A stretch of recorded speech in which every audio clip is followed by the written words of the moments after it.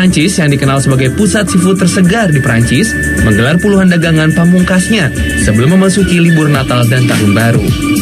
Beraneka jenis ikan, kerang, udang, dan seafood tersedia menjadi pilihan makanan tradisional khas Natal yang diburu banyak keluarga.